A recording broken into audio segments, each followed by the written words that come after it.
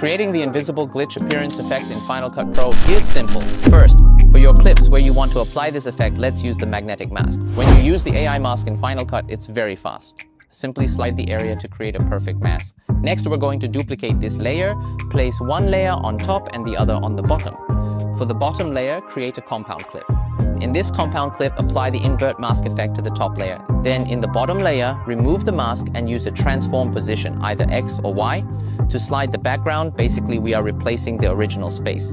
This gives you a nice look of a transparent, invisible effect. To enhance this further, I'm going to use a plugin made by Ryan Nangle called Bump Map. This is similar to what you would do in After Effects.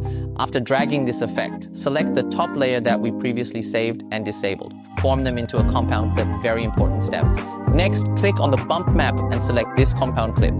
Now adjust the amount and direction of the slider.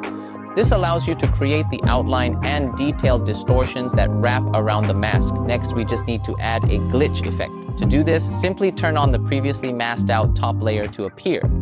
Then, drag any kind of glitch effect directly into the viewer.